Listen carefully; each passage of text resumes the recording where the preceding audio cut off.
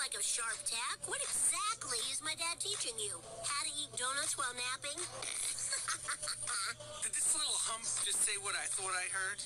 It's okay, Mike. I don't sweat it. Yeah, Mike, the only thing Homer sweats is gravy. No one disrespects Homer Simpsons, especially not an ugly little punk like you.